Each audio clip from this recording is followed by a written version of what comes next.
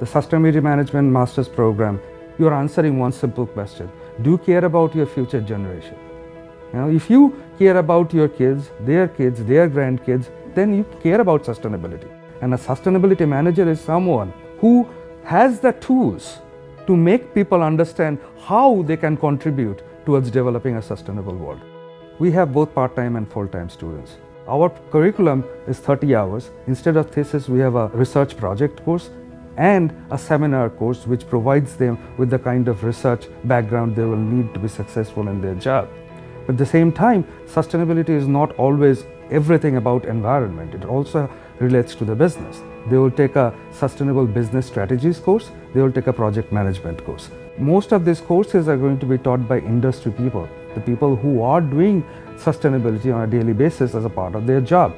Any organization that has a large number of employees and has a physical infrastructure, they will have to have a sustainability office. If you have the passion to develop and maintain a sustainable world, come to us and we will help you shape your passion into a career which will create an impact.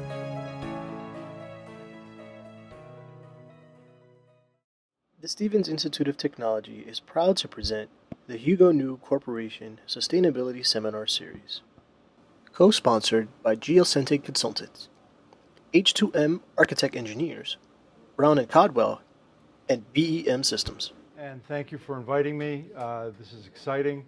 Uh, I typically speak to undergraduate students, so uh, uh, this is this is a little new for us. And um, I want to thank Frank, who I met last year, Dr. Sarkar, who uh, I also met last year, and our ambassador on campus, Lily, who is awesome. She did a tasting today outside of dining services um, on a coffee that we're actually going to talk about tonight, a farm that we're going to talk about tonight. So I, I, before I go into the presentation, and we are not this major firm, and I, I looked at some of the other uh, uh, sessions that you guys have had, in municipalities, larger companies. We're a small company in Connecticut, um, but we're really trying to put our footprint around the world uh, in helping people with their lives and uh, through sustainability, and we'll talk a little bit about what that means in the coffee industry um, in a little bit. Uh, you don't have to know much about coffee or charts or finances or anything. Uh, this is a two-year futures chart for uh, December of uh, uh, the December futures contract, um, dating back basically two years ago. So you can see what the trend line is, and it doesn't look all that healthy.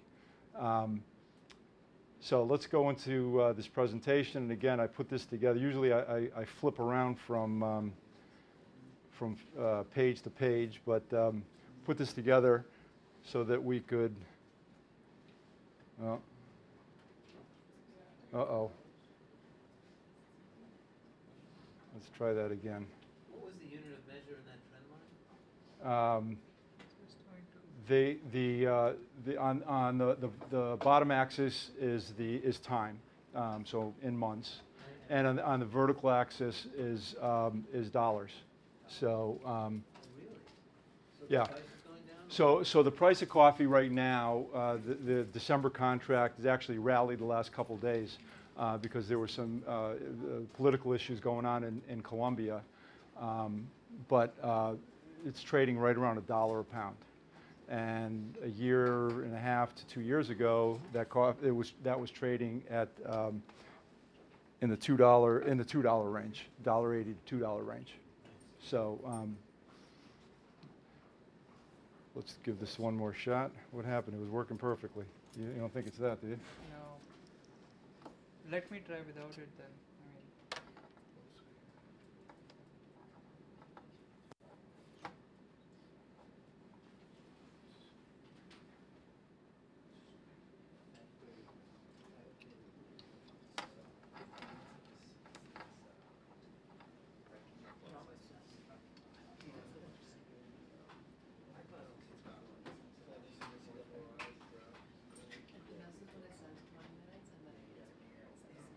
Both went dead.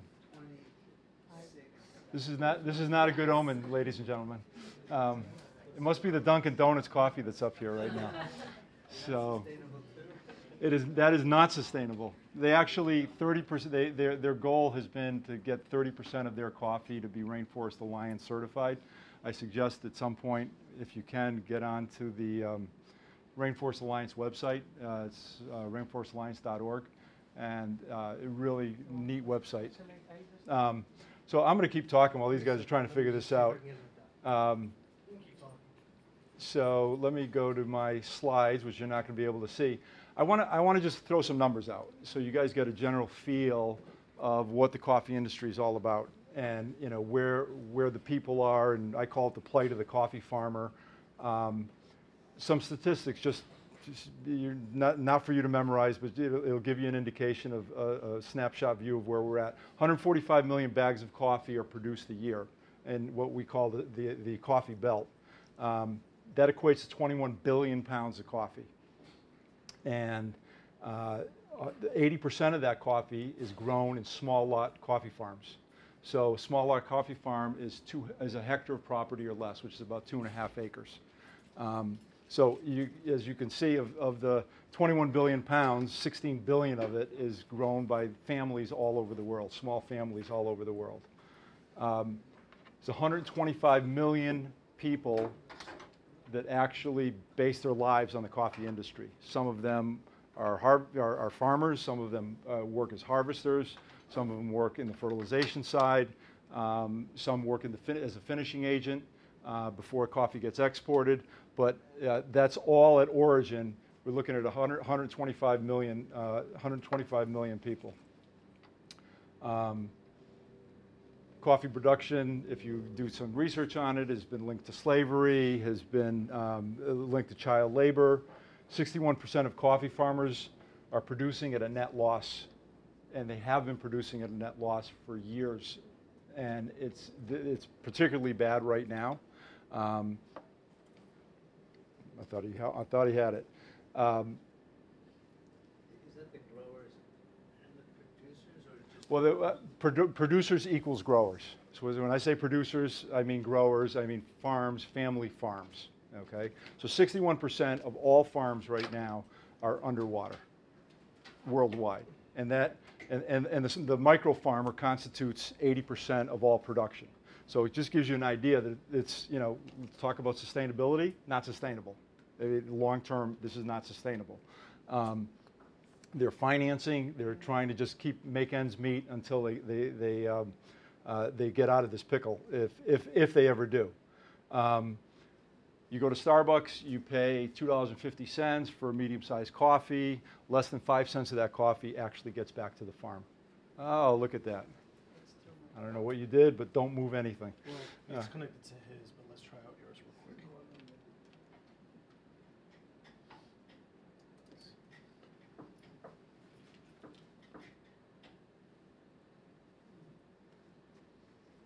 Average farmer age is 58 years old. So not only is it not financially sustainable at this point, the, the age of the farmer is getting up there and next generations aren't coming in because it's not uh, an entity that they really want to work in. Um, let's try that again. Okay, so again, 145 million bags, 21 billion pounds, 80% small lot and micro farmers, 125 million people. Uh, coffee production is linked to slavery and child labor. 61% uh, of coffee farmers are producing at a net operating loss five cents on a two dollar, less than five cents on a two dollar and fifty cent cup of coffee at most coffee shops, and most 250 is actually a cheap price. Uh, I just had a coffee this morning in Manhattan. It was I think 375 for a 12 ounce cup. Um, this gives you a like a 40 year um, snap a picture of, of the of the index of, of how coffee is traded on the on the futures market and you can see the huge volatility going on high and low. Um, average cost of a farmer right now to produce coffee is um, about a dollar twenty, you know, worldwide, and it's different in Rwanda than it is in Sumatra, it is in Peru and Guatemala. But if you take an average of everybody, it's right around a dollar twenty a pound. Um, coffee's trading right now at a dollar a pound. The problem with this chart is that when there are peaks, the farmer never participates. The peaks, the futures traders on Wall Street participate. They're the ones that make, make the, the, the market move, and they're the ones that make the profits. And when there are valleys, guess who makes money? The futures market traders make, make money. They want volatility. If, you're, if you trade oil stocks, you trade gas futures, you trade coffee, um, orange juice, whatever, whatever commodity is being traded, the, the, the, the, actual traders themselves are looking for huge volatility because they can short the market, they can go long the market, that's how they make their money. Um, the, the, the basis on the, on the coffee farmer is, has been kind of flatlined right around that dollar twenty over this cor course of this time. But that dollar, that dollar twenty, the, this, this peak up here of $3.25 isn't going back. So it's not like the farmer has a windfall profit for two years or three years because the market spiked to $3.20. But what Starbucks and Dunkin' Donuts and all the, the retailers are going to do is increase the price of their, coffee, uh, of their, their coffee because they can justify it based on what the futures market is doing. Um, so coffee is grown in more than 70 countries. 60% uh, are from four countries, Brazil, Vietnam, Colombia, and uh, Indonesia, uh, Sumatra primarily.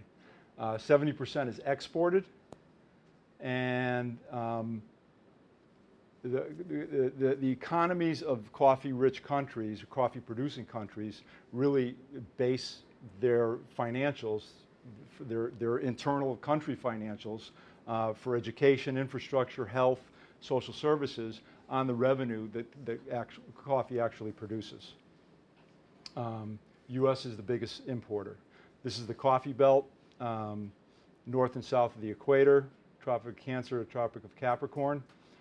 And let's get into like a little bit of what, what you guys are involved in. That's sustainability, how we founded this company, um, why I'm doing what I'm doing, why I'm even in this room. Because uh, sometimes I, I ask myself, it, am, I, am I really affecting people here? And are we real, are, we know we're affecting farmers on the ground all over the world. Um, so the, our founding, uh, this is my uh, 1947 versus 2002. So about, uh, what, 17 years ago. Sounds, feels like it was yesterday, but uh, uh, we, I was, I had two roasting plants. I had a distribution warehouse. We were consolidating, every, everything, consolidating everything under one roof. We had built a new facility, and we're cleaning out the building of the company that I bought in 1990. And um, they brought invoices upstairs from the, the basement. Those invoices from 1947, and they were from Peru, Guatemala, Brazil, and Colombia. So I'm looking at these invoices in my left hand, and I've got invoices from the same countries, same regions in my right hand, and if I probably did enough homework, many of the same families two generations later, there was a one cent difference in the price of the coffee.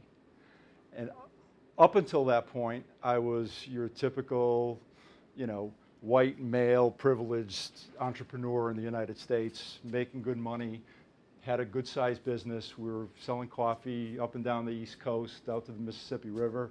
And um, I just cared about myself and my, our profits and what we were doing and how I could better, you know, get the bigger house and buy the summer place and drive the Mercedes and, you know, send my kids to private schools and do all the stuff that you do with money. Um, I consciously chose to really never get to know the farmer and like what they were all about. I wanted the highest quality coffee I could buy at the lowest price I could pay so I could have the lowest cost of goods sold and I could make the biggest margin I could possibly make for the company. Um, so in 2002, I had this, you know, awakening, if you want to call it. We set up an LLC in 2008, uh, launched in 2010. Um, but I'll, I'll, I'll, I'll, get to, you know, I'll get to the launch in a second. Um, I knew at that point, and I, I really felt that I was doing, you know, I was doing the wrong thing. I mean, I was, I was taking advantage of people that I never got to know, um, living this great life, and I, I, wanted to find out what, what their lives were about. So I reached out to several farmers around the world, a few hundred actually, and um, there was a common denominator between all of them. And the first was living wages. Second was education for their children. My children, you were fortunate enough to get higher education, but at least we know in the United States you can get a high school education, um, you know, based on, on your, the town that you live in, it's, it's public education. Um, and uh, the third was uh, rainforest preservation because they saw a lot of clear cutting going on within the rainforest to grow coffee farms, to grow other uh, uh, agricultural products. So definition, Webster Dictionary, Google, I don't know where I got it, uh, the ability to maintain at a certain rate uh, or level, avoidance of depletion of natural resources in order to maintain an ecological balance. So when I talk on, on campuses, I ask, you know, a, a, typical question of what, what's your definition of sustainability?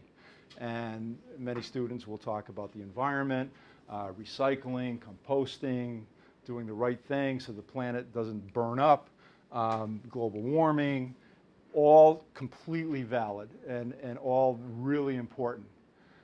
I kind of took a different look at the whole sustainability thing, and I, I came to a conclusion that without financial sustainability, all the other stuff's for naught. Because if you can't produce coffee in this industry at, at a profit to put food on the table for your family and clothes on your kids' backs, get them educated, have health care, then you're going to close, leave the farm, you're going to go to Bogota or, or uh, Lima or whatever city is closest uh, to you, and you're going to drive a taxi cab, you're going to do something else, but you're not going to be growing coffee anymore. So we kind of base the whole company on financial sustainability with the, uh, the, the, the, the earth, the planet, you know, as, as, as a secondary. Um, and we're, we're involved in both, but the, the, um, the financial side of it was the most important to me. Um, so the Golden Circle. Anybody ever heard of Simon Sinek? Anybody watch TED Talks? So I, when I, I was in um, my old company, I was the 2002. I had this like this awakening. Uh, I couldn't change the strategy of the business fast enough to be able to do what I wanted to do, and that's help farmers because my customer base really didn't care about farmers either. So um, I ended up getting out. Um, I took four and a half years off. I went up to Boston to go back to school for a couple years because I, I wasn't smart enough to figure out how do you take a, a, a commodity-based business and everything is a commodity. Your computers are commodities. The, the, the chairs that you're sitting on are commodity. Everything becomes commoditized over time. We're actually dealing in a commodity. So how do you take coffee, the second highest traded commodity in the world, to oil, and differentiate it, figure out how to help the farmers on, on, on one hand, and then figure out who your target market is and how you can penetrate that target market on the other hand. By the way, with limited funds. Um, so uh, I had the opportunity to, to get to uh, uh, understand Simon, and he, um, he was an influence on me. He and one professor, strategy professor up at Harvard, were, were like my two biggest influencers on the development of this. Uh, I want to play just five minutes of this. Um, it's a 17 minute video. He's got a couple really good ones. One's awesome on, on millennials, but this is, this is really the foundation, how I developed the strategy of this business.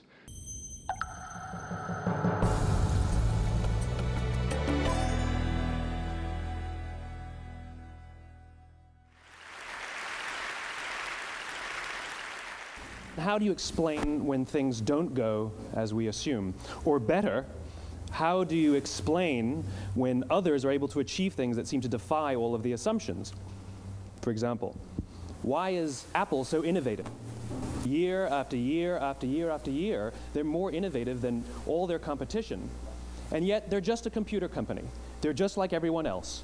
They have the same access to the same talent, the same agencies, the same consultants, the same media. Then why is it that they seem to have something different? Why is it that Martin Luther King led the civil rights movement? He wasn't the only man who suffered in a pre civil rights America, and he certainly wasn't the only great orator of the day. Why him? And why is it that the Wright brothers were able to figure out controlled powered man flight when there were certainly other teams who were better qualified, better funded, and they didn't achieve powered man flight, and the Wright brothers beat them to it? there's something else at play here. About three and a half years ago, I made a discovery. And this discovery profoundly changed my view on how I thought the world worked, and it even profoundly changed the way in which I operate in it. As it turns out, there's a pattern. As it turns out, all the great and inspiring leaders and organizations in the world, whether it's Apple or Martin Luther King or the Wright brothers, they all think, act, and communicate the exact same way, and it's the complete opposite to everyone else. All I did was codify it. And it's probably the world's simplest idea. I call it the golden circle.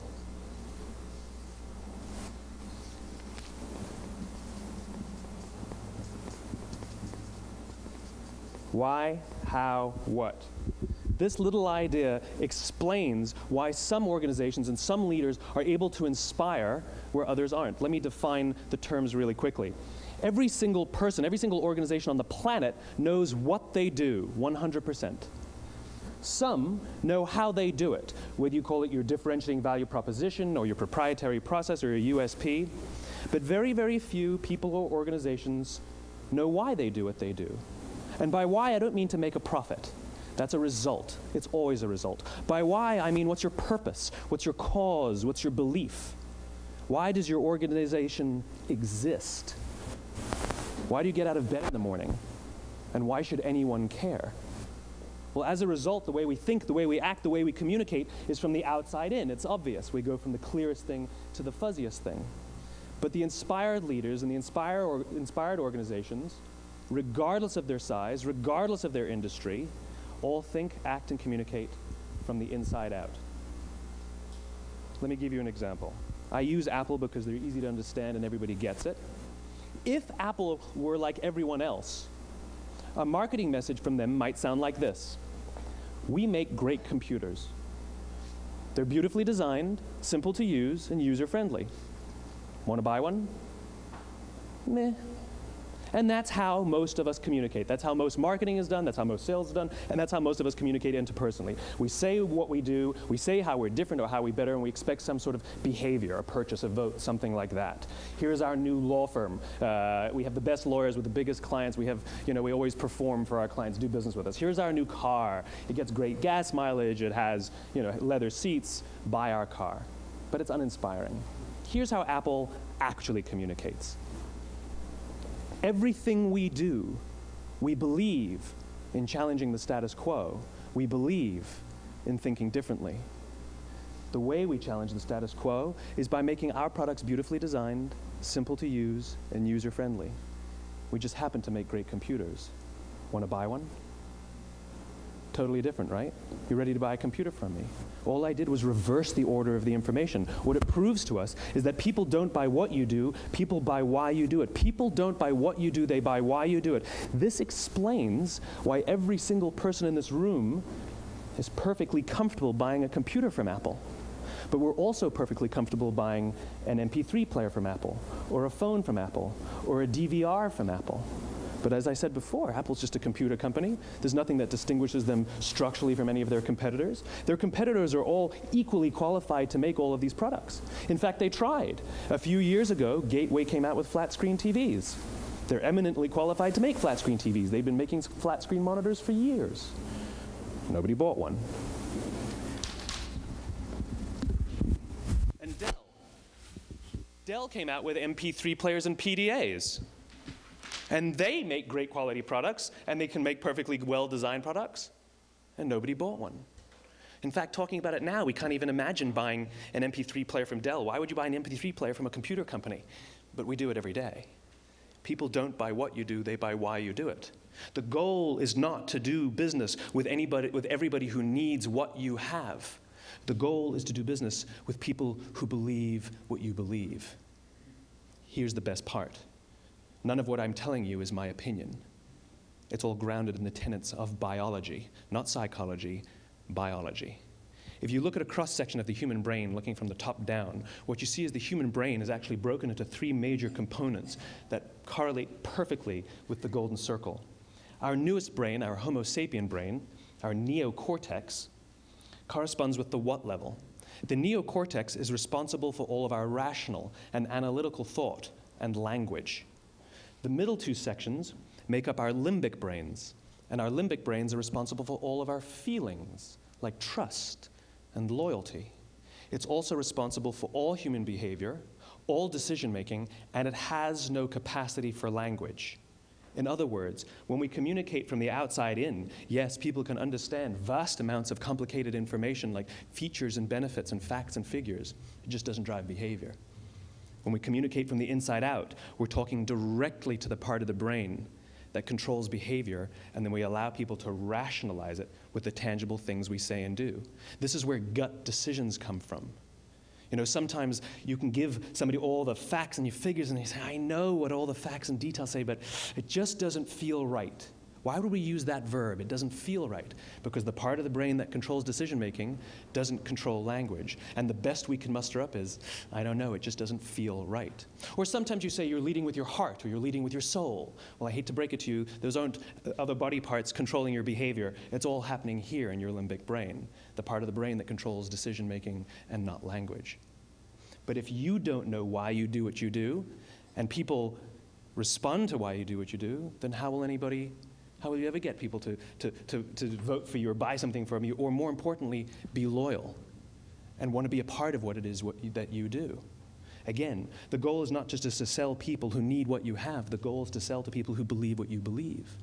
The goal is not just to hire people who need a job, it's to hire people who believe what you believe. I always say that, you know, there's, uh, if you, if you, if you, um, Hire people just because they can do a job, they'll work for your money. But if you hire people who believe what you believe, they work for you with blood and sweat and tears. And nowhere, nowhere else is there a better example of this than with the Wright brothers. Most people don't know about Samuel Pierpont Langley. And back in the early 20th century, the pursuit of powered man flight was like the dot com of the day. Everybody was trying it.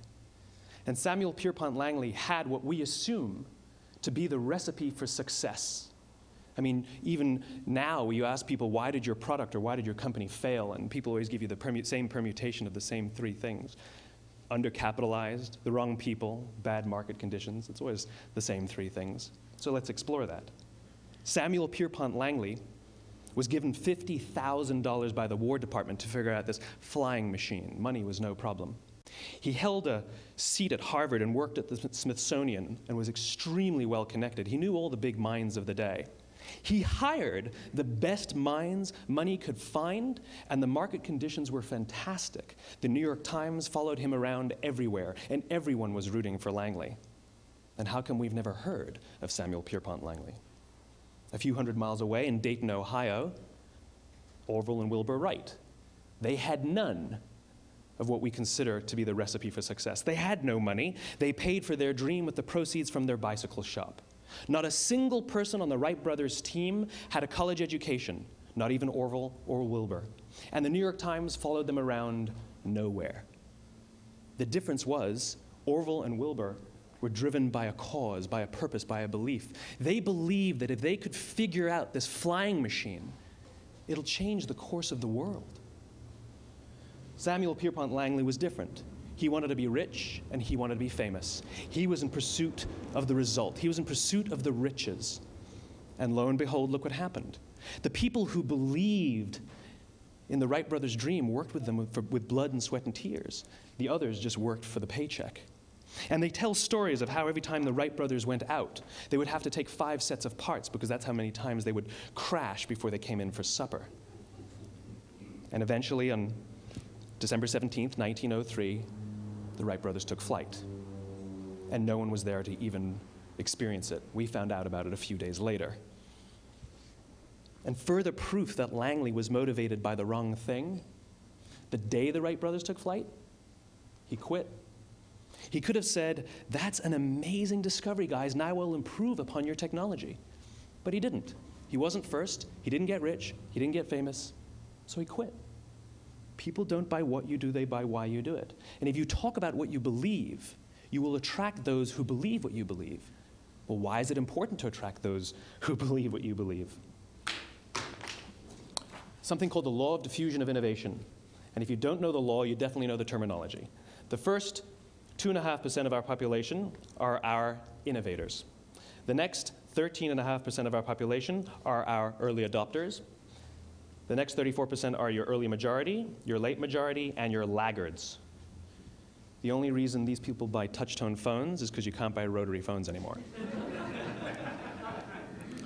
we all sit at various places at various times on the scale, but what the law of diffusion of innovation tells us is that if you want mass market success or mass market acceptance of an idea, you cannot have it until you achieve this tipping point between 15 and 18% market penetration, and then the system tips. And I love asking businesses, what's your conversion on new business? And they love to tell you, oh, it's about 10% proudly. Well, you can trip over 10% of the customers. We all have about 10% who just get it. That's how we describe them, right? That's like that gut feeling, oh, they just get it. The problem is, how do you find the ones that just get it before you're doing business with them versus the ones who don't get it?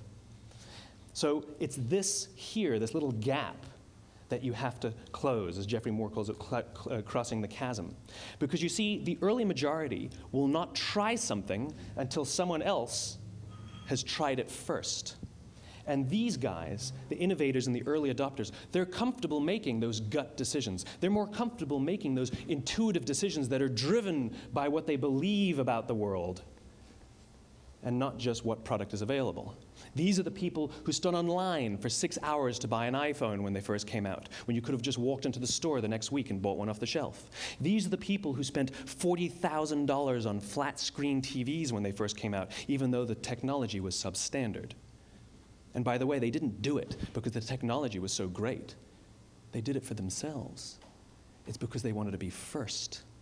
People don't buy what you do, they buy why you do it. And what you do simply proves what you believe. In fact, people will do the things that prove what they believe.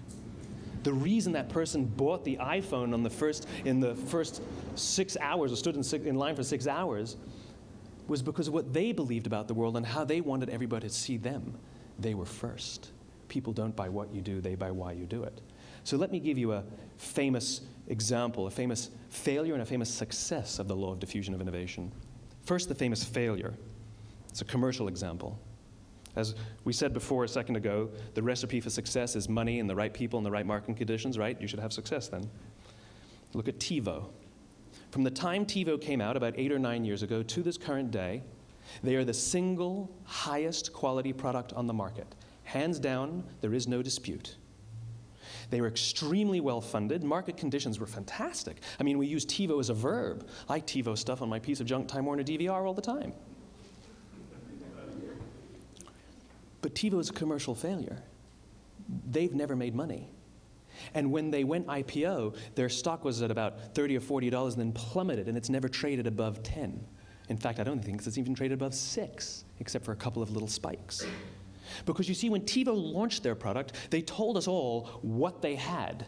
They said, We have a product that pauses live TV, skips commercials, rewinds live TV and memorizes your viewing habits without you even asking. And the cynical majority said, We don't believe you. We don't need it. We don't like it. You're scaring us. What if they had said, If you're the kind of person who likes to have total control over every aspect of your life, boy, do we have a product for you. It pauses live TV, skips commercials, memorizes your viewing habits, etc., etc. People don't buy what you do, they buy why you do it, and what you do simply serves as the proof of what you believe.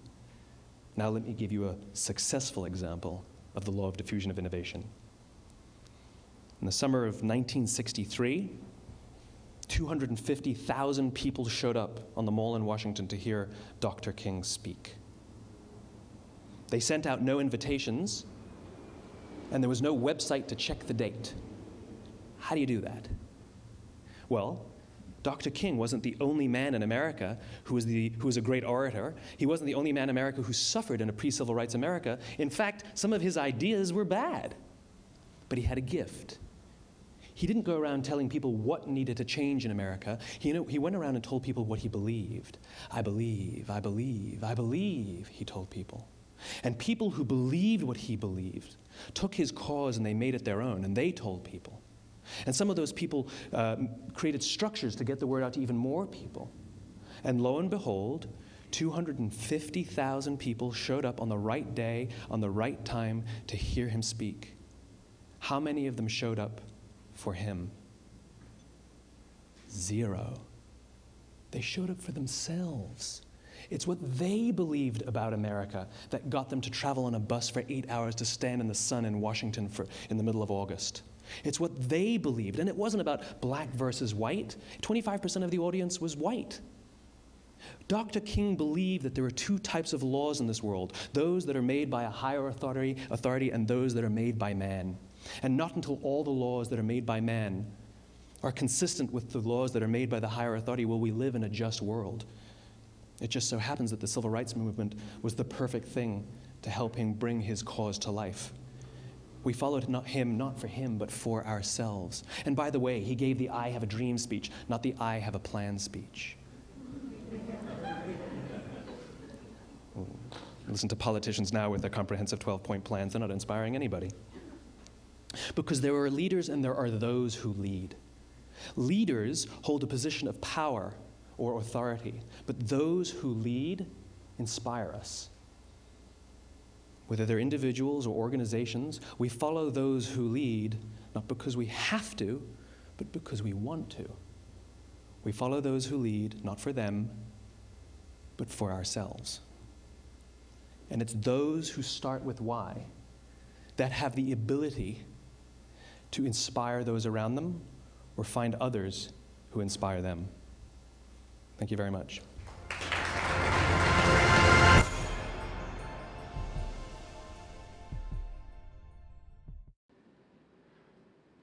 So we came up with our golden circle. And Sun Coffee exists for three things.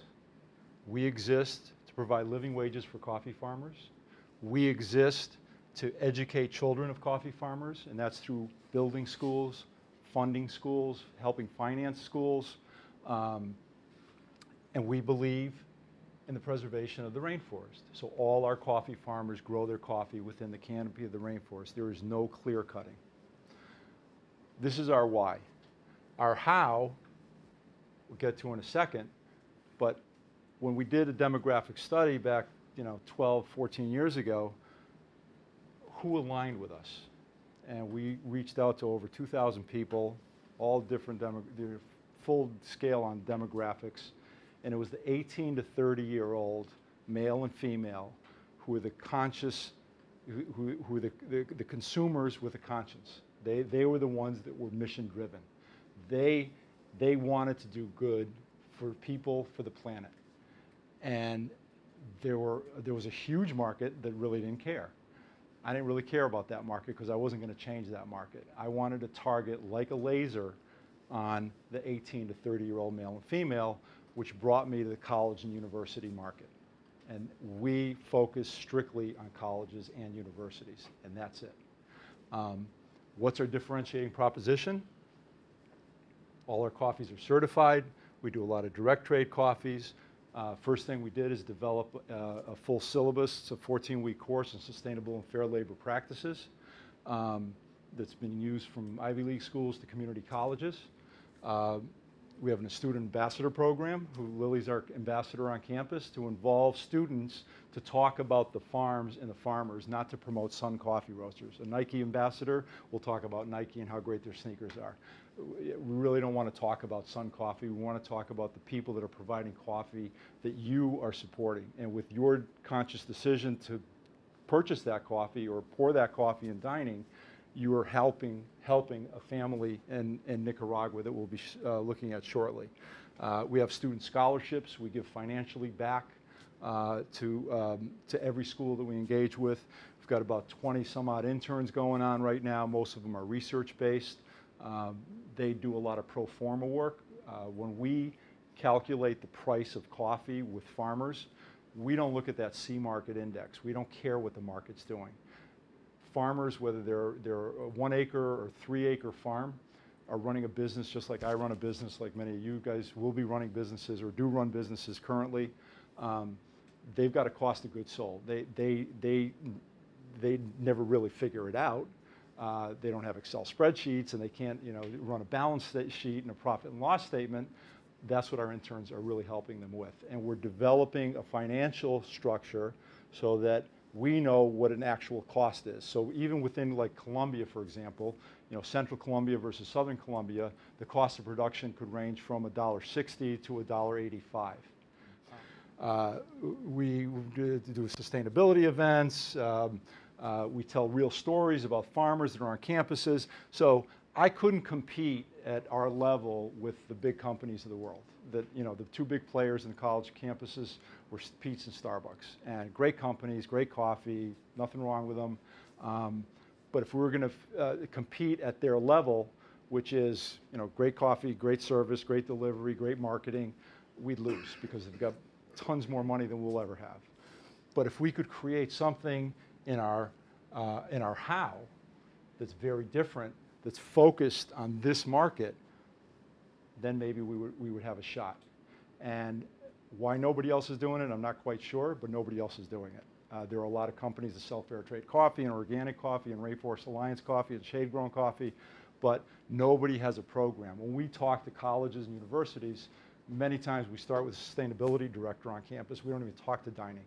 Um, and then from there, we get introductions around campus because we want to involve students, we want to involve faculty, we want to involve uh, administrative people on campus to bring the whole group together to say, okay, we're all sitting on the same side of the table with the same value system, the same mission in mind to help these coffee farmers, these 125 million uh, people in the coffee industry around the world who are 60% underwater right now.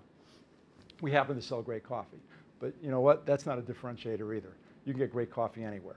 Uh, Dunkin' Donuts, great coffee, yeah, uh, uh, right here. Uh, I have some coffee for you guys to take home. We think that's great coffee too.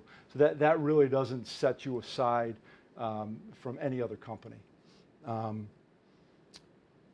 so farmer uh, financial sustainability, uh, people and process. We're going to talk about a farm in Nicaragua. I'm going to actually go through some slides shortly.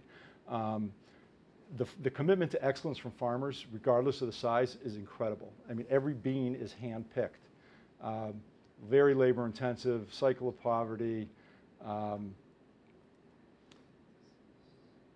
so environmental sustainability, rainforest preservation. So we, we support rainforest preservation in all the farms that we engage in, uh, engage with. Um, reforestation, um, we've worked with uh, Rainforest Alliance, uh, to uh, facilitate reforestation, not just with coffee trees, but with, with other trees um, uh, around the world. Um, natural fertilization, there's nothing, there's no there are chemicals involved, uh, which is a health hazard for the farmer, uh, and it's not great for us the, on the consuming side. So everything that, that we purchase and we partner with uh, is, is, using natural fertilization. Not all organic certified because it's very expensive to be organic certified. USDA doesn't make it easy. Uh, so um, the, the, it will we'll show you how what a natural fertilization looks like. Um, land use, um, everything is, is reused. The dead wood for heating and cooking. Um, uh, they grow fruit and vegetables to supplement um, uh, their diets. And um, then we're when we started the company, you know, we talk a great game, we engage with, with sustainable, sustainable farmers, and we try to help them in financial sustainability and, and environmental sustainability. Well, what are we going to do? So we have um, a very unique roaster. There were seven built in the world, six are in Tokyo. We have the seventh.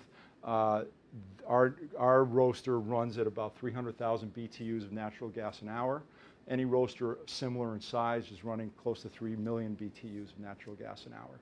So significantly less uh, fuel consumption on, on our roaster. We have zero emissions. Byproduct of roasting is smoke. And um, 28 particulates per thousand uh, is the EPA regulation.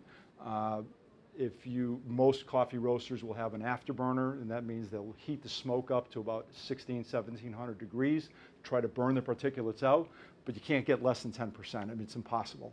So um, we had these catalytic cleaners developed, and we have zero emissions. Um, much more expensive, but the right way to do it. Uh, a byproduct of roasting also is, is chaff. uh, which is like the uh, flaky thing in the middle of popcorn that you, you know, you see. It's, it's, it's technically it's popcorn, but it's really not.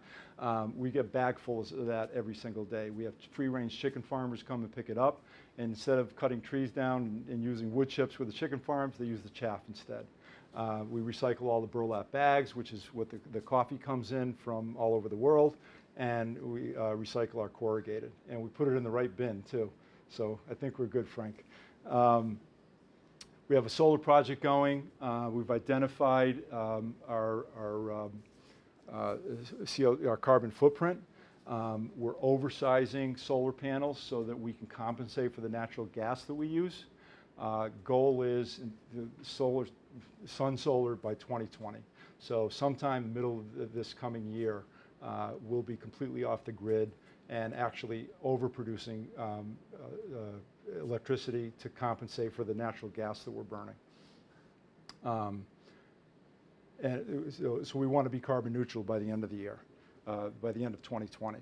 So let's put that in like real terms, okay? And the only way I can do it is to show you some slides and show you real farm um, and how not only do we work with the financial sustainability side, which I'll keep saying because like that's to me, one of the most important things, um, but also the environmental sustainability. So in Nicaragua, this is one of the first farms that we, we engage with. It's actually a slightly larger farm, but they do some really cool things with engaging with the 2,000 micro farmers in their area.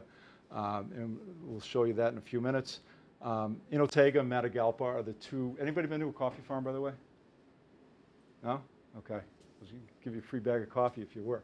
Um, uh, so Jinotega and, and Matagalpa are in the northern region of Nicaragua, very rich soil, volcanic soil, uh, great for growing, high elevations. Um, flew into Managua the first time, drive into Jinotega, and I see these red buildings everywhere. And I mean, literally hundreds of them.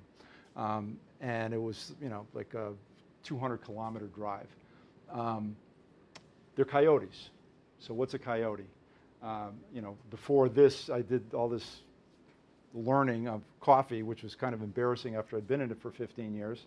Um, you know, I thought coyotes was human trafficking. You know, you hear about it now. You know, come, the, the Hondurans and Guatemalans coming over the border in truck, tractor trailers, coyotes, right? Uh, in the coffee industry, one of the biggest problems the coffee farmers have is logistics, how to get coffee to market. So once coffee's harvested, you have a 48 hour window to get that coffee to the finishing agent for export. Coffee has to be cleaned, has to be dried, has to be bagged. If you don't hit that 48 hour window, the coffee ferments. The closest beneficio, which is the finishing agent, could be 50, 60, 70 kilometers away. Some have mules, some don't. Even with a mule, you're not going to get three or four bags of coffee that you harvested today, 70 kilometers, and then, and then back again. So these coyotes are set up everywhere, and it's not just Nicaragua, it's every coffee producing country in the world. And they will go, what's your name? Kristen. Kristen. So Kristen's our coffee farmer. She just harvested three bags today. Uh, she knows that the coffee is high quality. It's an 18 screen, Nicaraguan from Jinotega. Uh, it's cupping at an 85, all this technical stuff. And um, Kristen needs to sell the coffee coffee in the, in the open market should be going for $1.50, $1.60 a pound for, for, for, uh, per, per pound for that coffee. Um, but she has no way to get it to the beneficio. So the, the clock's ticking. So Kristen has to make a decision because I'm the coyote and I come up to Kristen I say, you know, Kristen, I know you've got a great crop. You've always grown great coffee. Um, you've got three bags. I will offer you 28 cents. Now you have to make a decision. Are you taking the 28 cents or not? Yeah, I guess. I don't know. You have to, you, yeah. you, basically have to because if you don't take the 28 cents, you get nothing. Right. Right? Because that coffee is going to ferment. Once it ferments, even one bean ferments in a 200 pound bag of coffee, the whole lot is shot. So you're going to take basically what they give you. There's no negotiating. And some days they may feel great and they'll give you 32 cents. But for the most part, you're going to get pennies on the dollar for what your coffee really should get. Is that financially sustainable? No. So logistics is, is, is a big part of, of what's going on, and the, a big part of the issue of coffee farmers worldwide. And like I said, it's not just Nicaragua, it's every coffee producing country in the world. The no? um, excuse me? Location, producers, and the transportation. Is there a problem there somewhere? The location? The, is there a problem? Right. Yeah, it's a huge problem. I mean, there, there's. 70 well, 70 kilometers you can do in like an hour, right? I mean, or, or less in, in, a, in a vehicle. But you, you can't put it on your back and carry it. Uh, You can't put it on a mule and bring it in a, on a mule. So transportation is a huge problem, and, and it's something that we've worked on a little bit, but it, it, it, you can't, we can't do everything. So, you know, the, to, what, the reason, one of the reasons we connected with this farm, and this is a slightly larger farm, they've got about 700,000 trees on this farm, which it sounds like a lot, but it really isn't. 500,000 are producing coffee, 200 are in years one to three, which they're not producing coffee yet. Um, they have one truck. There's 2,000 micro farms around this farm. The family that owns this farm allow all the micro farmers to use their one truck to get coffee to the beneficio, which in this case is about 30, 35 kilometers away. Um, so they, they, they work, and they also have an education program to help increase their yields and their quality. So this particular farm, like I said, is larger than any other farm that we engage with, but they're doing the right thing by the micro farms in, in their community. And, um, and we buy from all the farms, all the micro farms as well as this particular farm. They have a constitution, so I went there the first time, this was several years ago. Um, you know, right of free religion, um, organization, um, and this is what a typical farm looks like that we engage with. That's the canopy of the rainforest. Within that canopy is where the coffee is grown. It's rough terrain. I mean, there could be uh, hills that are 45, 50 degree hills. Um, when you're, they're harvesting coffee, they'd be hanging off a tree with a rope, uh, picking one cherry at a time. This picture shows you a red uh, a cherry. It's a fruit. Coffee's a fruit. Uh, within the cherry are two beans typically. Um, you can see this honey finish here. That's what has to be cleaned, dried, and then the chaff, there's a skin on it that you really can't see here, but that has to be taken off um, before it gets exported. Uh, from the time, if you were to plant this seed, the time you get your first leaf to the time it yields its first bean of coffee is three years. So in a typical life of a coffee tree is between 18 and 20 years, proper pruning and fertilization. So, so farmers are constantly planting new trees because they know that there's a, there's a wait time of three years before it yields any product. That's what the center of the, of the cherry looks like. And actually the cherry is very sweet. It tastes delicious. Um, there's uh, planting seedlings. Uh, this is like a one-year-old tree.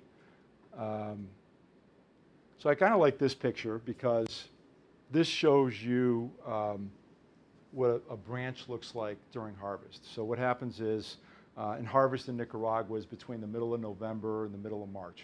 It's a four-month harvest. Um, you'll see uh, uh, the tree will flower, then you'll get a, um, a green bean, green will turn yellow, yellow will turn red. Only the red cherries get harvested.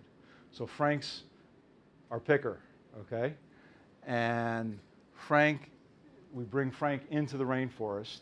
Uh, he's hanging from a tree, uh, picking one cherry at a time in an area about half the size of this room. And he's there from 6 in the morning to 6 o'clock at night. That's all he does. Um, again, only picking the red cherries. Two, two weeks later, Frank goes back to the same area, picks the next round of red cherries because they will ripen at different times. And like I said, it takes four months for all the coffee, all the cherries to, to, to ripen on one tree. Two weeks later, Frank goes back again. Four months to pick all the red cherries off of one coffee tree by hand in the rainforest, really tough conditions, yields one pound of coffee. When you crunch the numbers, which I have, it's literally billions and billions of man hours. It's mind-boggling. When you think about the technology in the oil industry, which is the highest traded commodity, you know, refining and, uh, and fracking and, and deep water drilling and, you know, uh, uh, freight, uh, uh, ocean freight to bring oil over, or export oil, um, very automated. The second highest traded commodity in the world, which is coffee, is not automated at all. There's some macro farms in Brazil and a few in Colombia uh, that will have some automation. But as we said earlier, 80% of all coffee is harvested like this, one bean at a time. Just the coffee that's sold on this campus is thousands of man hours.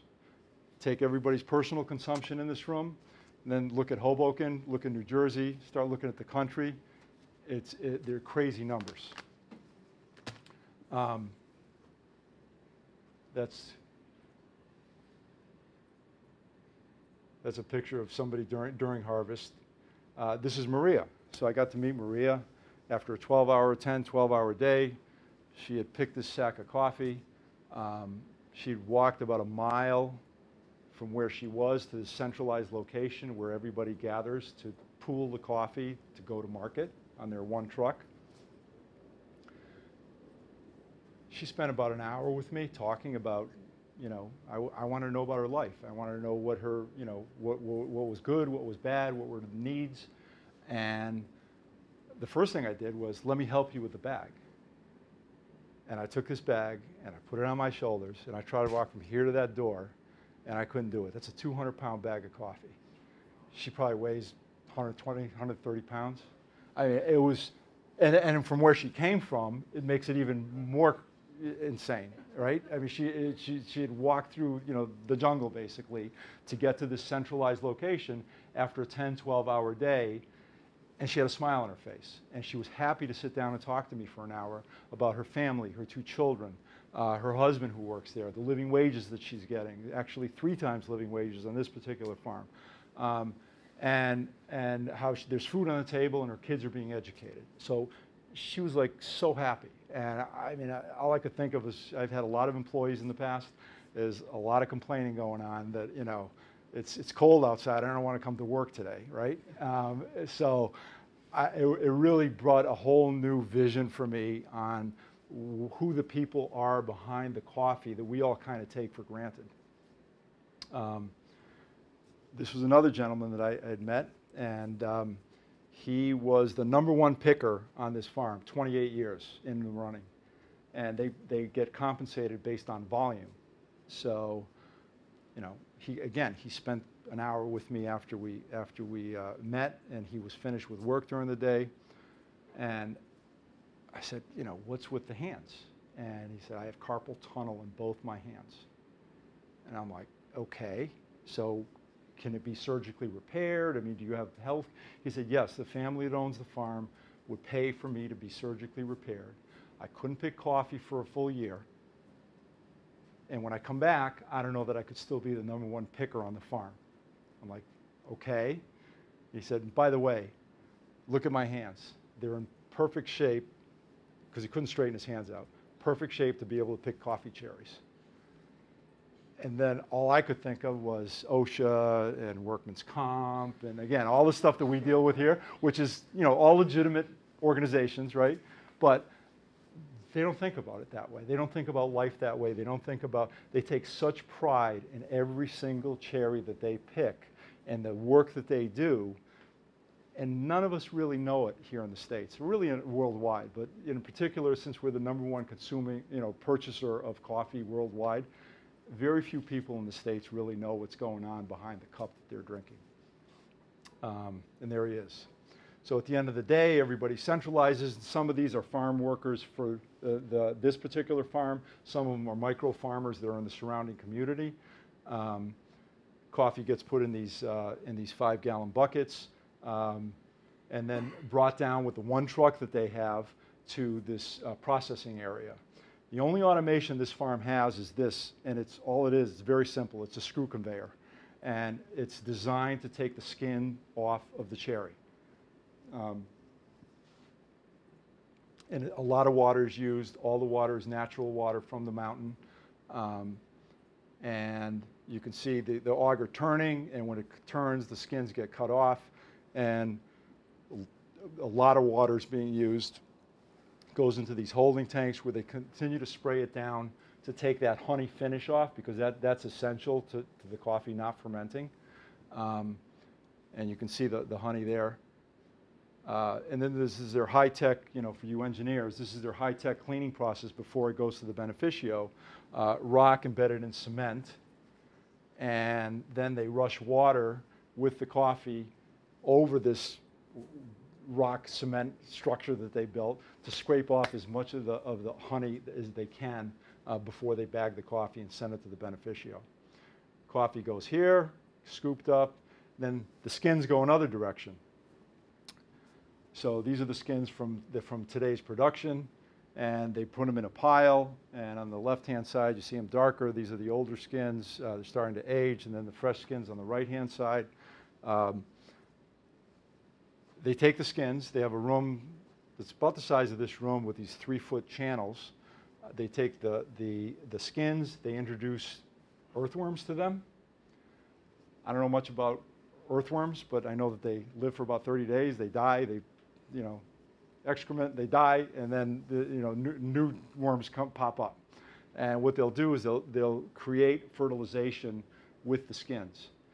700,000 trees. Remember what I said earlier all hand packed twice a year in the rainforest with this product, their, nat- their fertilization. You said they're sweet. Could they make a saleable product? They actually, they, they, I, the first time I tried it, which was actually about a year and a half ago in Popayan, Colombia, they took the skins and they made a juice, and it was absolutely delicious. And I've been trying to get them to export it to us because there's nothing like it in the States. It's got a very different taste. It's sweet and it's really good, but it's not like a, you know, like a punchy type sweet. It's red. It's, it's really, really good. Could be a valuable. uh, Yeah, absolutely. And thi- this one cooperative in Colombia is actually producing it for, you know, in, in-country sales.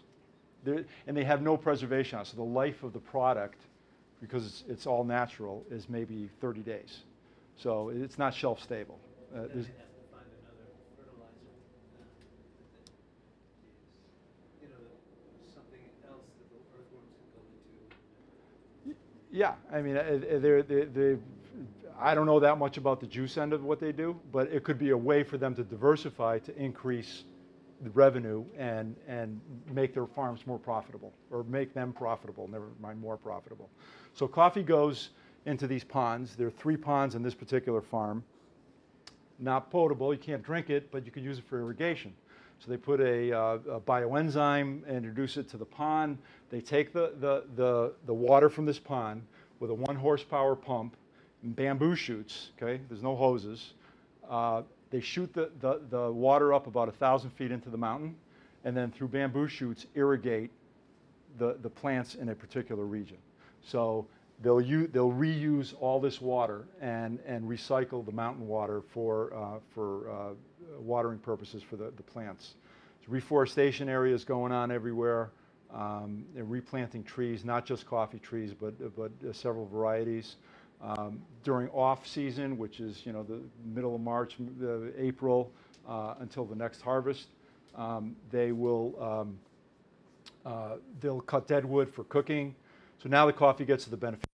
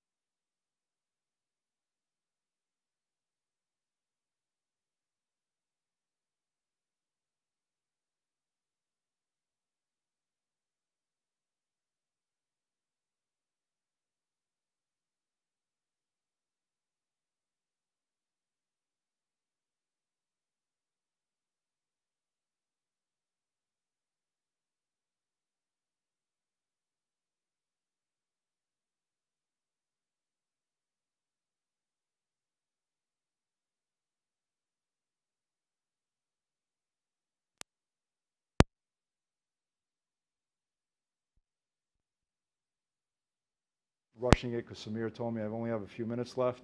Um, to me, this is what it's all about. And, you know, yeah, we got to get that financial picture in, in a healthy format, and we've got to make sure that these farmers are making money so they are sustainable and they can grow coffee year after year after year. Um, but without the next generation coming in, it's all for naught. So these children have a thirst for knowledge just like any other child in the world that, that has, is more privileged than, than these children.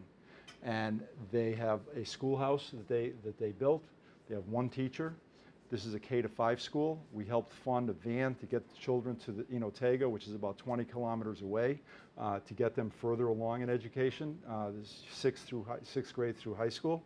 Um, but they're just, they're, they're, they're, respectful, they have a thirst for knowledge, and, uh, and they, they, they know the opportunity that they're given because many of their friends in the surrounding communities don't have this opportunity. Um, we always have a big party, and I won't get into all the details here. This is a preschool that we helped fund because one of the, the things that they identified was the fourth grader was staying home with a three-year-old because both parents were working the harvest. So we, they, they found a building, we helped outfit the building, uh, they hired the staff, and now all children are being taken care of through fifth grade. Um, you look at their faces, uh, I melt when I look at them. Uh, this guy saw a sticker for the first time in his life, popped it on his face, sat next to his big sister, and you know, and, and that was gratifying for me. Sounds a little corny, but it was just like really cool. Um, this one thought I was a space alien because I was like a foot taller than everybody else, and she gave me that look for about an hour. So she got her goodie bag and her punch, and then she like warmed up to me a little bit. Um, this is our plant. Um, this is the roaster I talked to you about with the, the very low burn rate on natural gas. Um, it's a very unique roaster. These are our catalytic cleaners. Um, so we're trying to live a sustainable lifestyle ourselves. And uh, this is a, a, a very high, a very efficient water-cooled grinder, which maybe a dozen in the US right now, um, and then some packing equipment, and that is it. So, um, did I make my five minutes? All right. Um, so I, I, I don't know if, you know, I know I've seen some of these other podcasts, whatever you guys call this, uh, and they were, you know, about recycling, you know, for Hoboken, and they were about a major, you know, company that produces electricity or, or you know, composting. Um, we touch all that, but we really want to be about the lives of the farmers. And we want to make sure that whoever we engage with can continue to do the thing that they love to do. They're doing it now, losing money. You can't even imagine if they could make money, how much, you know, what, what difference that would make in, in, in their lives. So uh, with that, I will take any questions you have, um, and thank you.